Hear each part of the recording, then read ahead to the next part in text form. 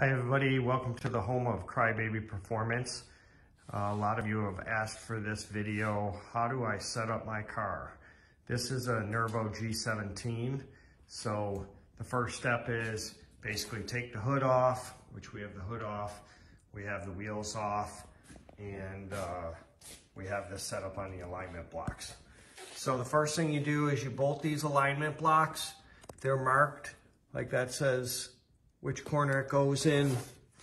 And then we have the back one on as well. And then this is the alignment bar for the back. And there really is a procedure to doing this.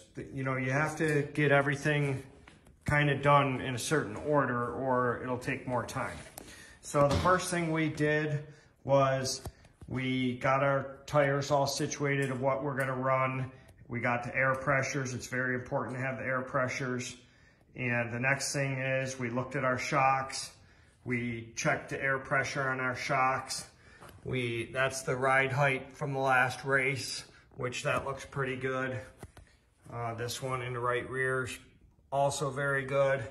And if you noticed, we have a little system going with our shocks and springs. I can tell you exactly what that shock and spring is just by the color on it and the two dots there. Um, I'm not going to tell you what that is, but they all mean something. That could be 100 spring, 125, 132.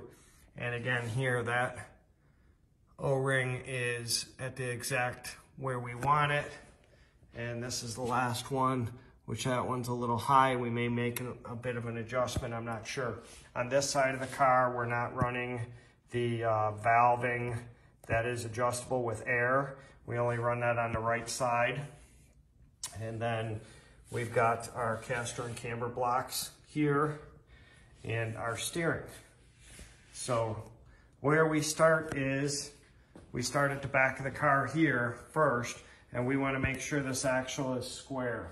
Can I have the right angle piece? So there's a couple of places to check to make sure that it's square. These cars will move around a little bit. Every time we adjust one of these cars after a race weekend, we come back here, we tear it all apart, we check it, and it's amazing how things will be off a 16th or an eighth here and there, even though everything was tightened down, you weren't in any wrecks, it was a smooth weekend. They just seem to move around ever so slightly.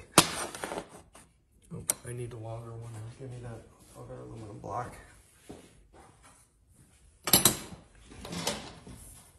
So with any 90 degree angle item, we can check that.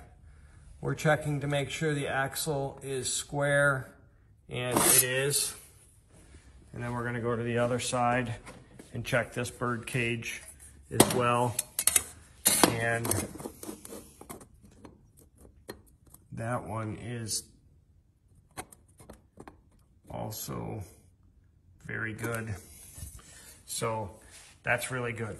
So the next thing we're gonna do is grab the tape measure. We're gonna check this measurement here.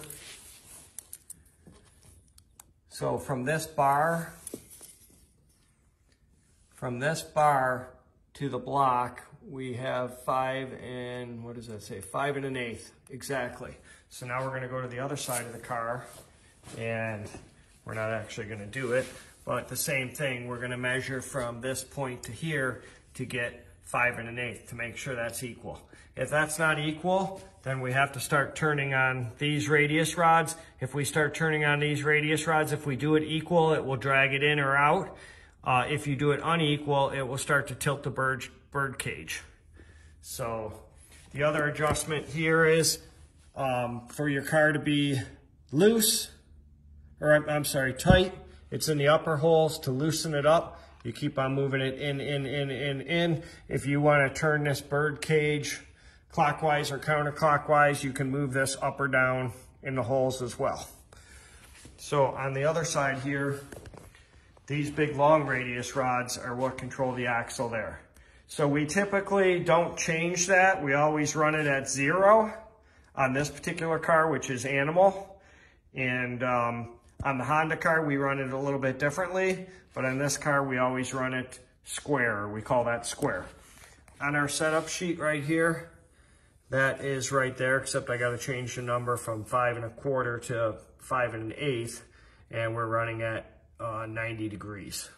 So it's also good to have one of these setup sheets. This is, a, I believe, a CSI sheet, and I record this stuff before every single race so that we know where we started, where we ended, and then I can make a sheet so next time we go back to that track, I have all the same information all over again because these car setups will change more than you think in a race weekend.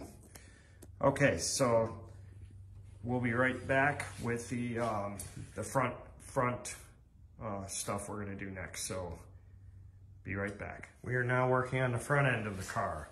So as you can see, this is a floating axle. There's two radius rods on this side. There's another radius rod on the other side. There's kind of a lot going on here when you really look at it because this is a floating axle, the shocks are doing the work, and the radius rods are keeping it all in place. So the first thing we do is we put it on these setup blocks and then we put this bar in here. With that bar on both wheels, it's locked the steering. The problem with that bar is sometimes it's not all that accurate. On these Nervo cars, you want the steering column to be exactly between the two nuts and the two plates. So that's exactly where we have it. And then over here, we, you can shift the axle to the right and the left with the front panhard bar. So right now we have the panhard bar in the center location, which we normally have it. And then Nervo calls out, I think, eight and a half for the front um, distance from the panel. Let's see if I can zoom in here. And we're about eight, what are we at, eight and three eighths? Yep. We're at eight and three eighths, and um, we may go to eight and a quarter. Austin seems to like it uh, at about eight and a quarter. So then also we're going to talk about uh, the caster. This is the caster block right here. And if you look at it, we call that, the one with the dot is zero, and we call that two ticks back.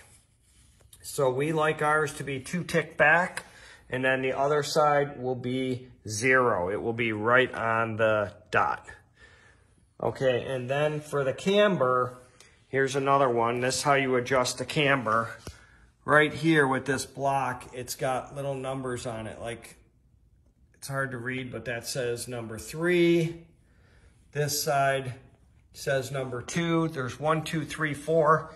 And then there are slots that you can put it in. So we're calling that one slot over, and that's number three.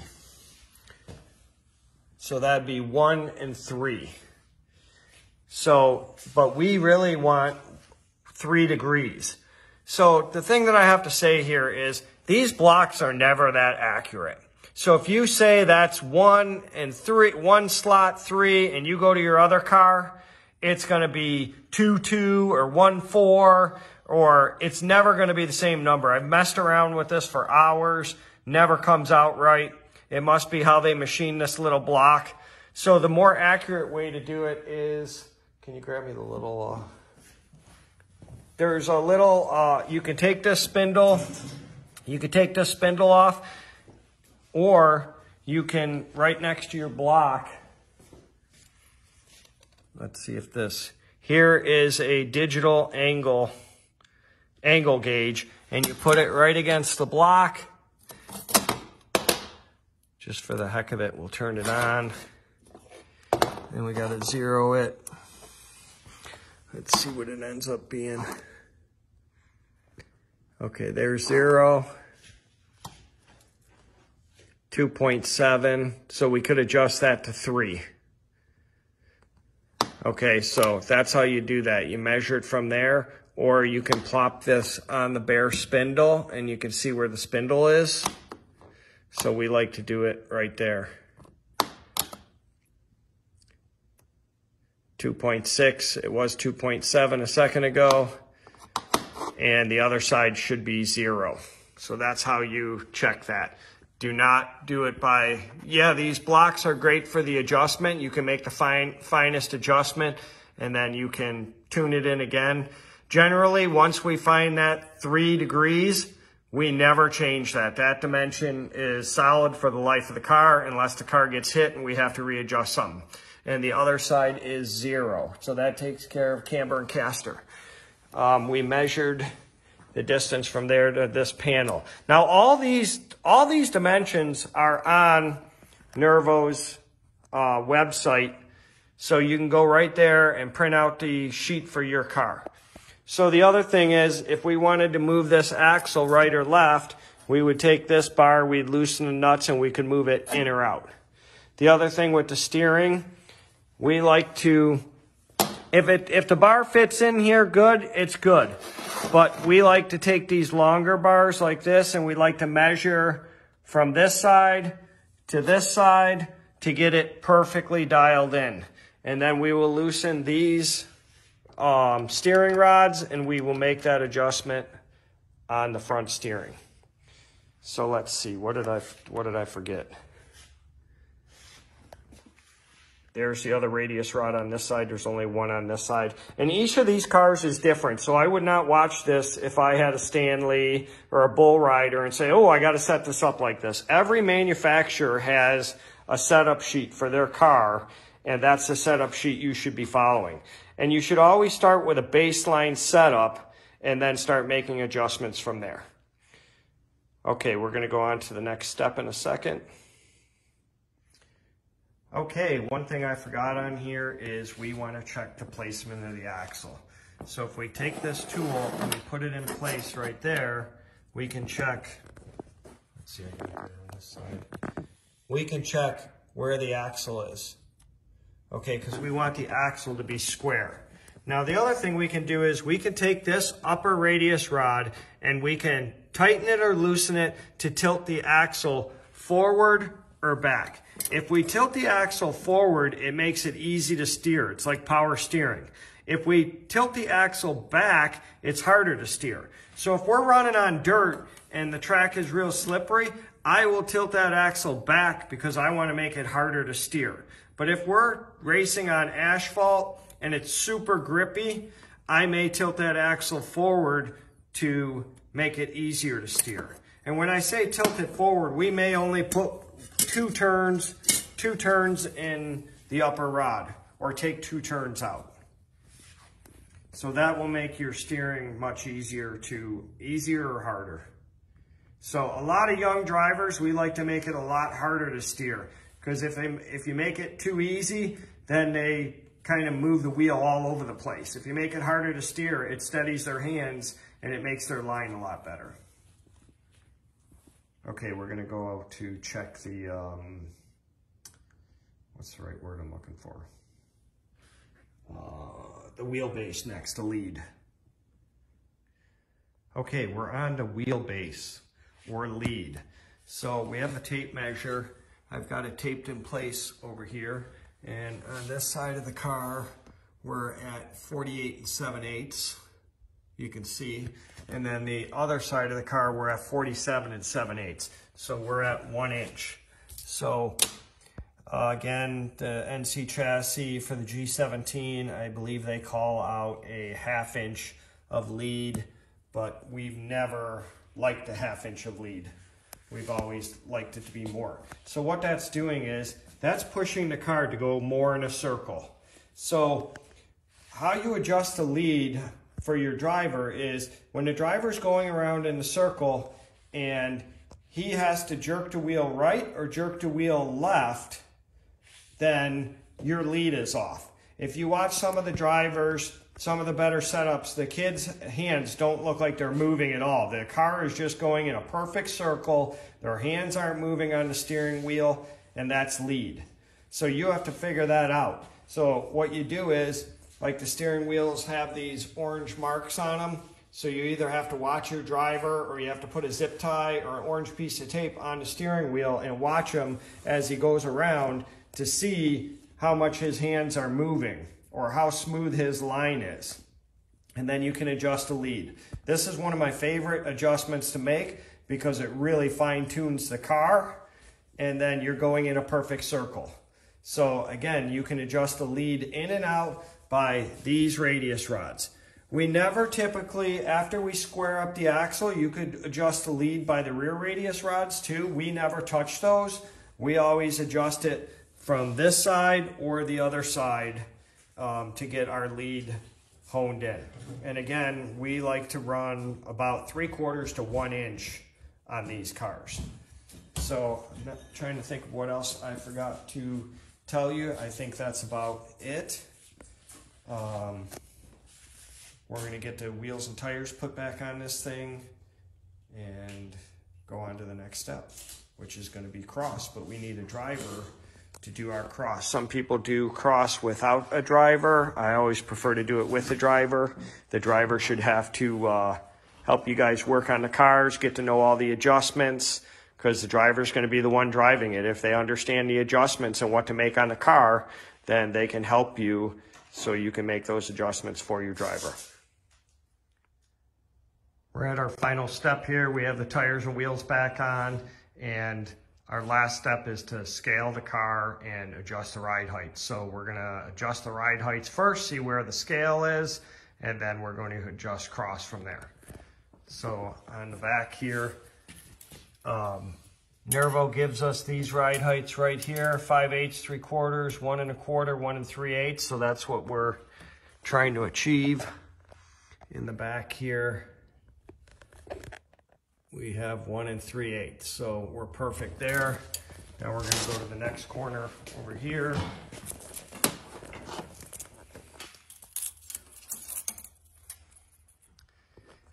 And illusion because I'm not. One and a quarter, that's perfect. It's to the bottom of the bar not to the bottom of the floor pan. The bottom of the floor pan can get all bent up. So we always go to the bottom of the bar. Now at the next, we always measure from the bottom of the floor pan bar. That's the bar that's straight. And again, it's not go loose in. So we want to be at 5 eighths. We're right about at 5 eighths, a stitch higher. And then the back one is going to be three quarters. And we're right there at three quarters. Okay, so then we go over here. We're going to check to see if, what our cross is. There's our cross, 52, 54.2.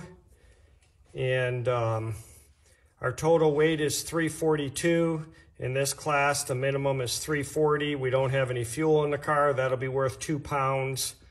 And then you can see the difference between our right side, front, left, all that. But the most important number is the 54% cross. Nervo likes to start at 55. We like to start at 53 and a half usually, but 54 is good enough.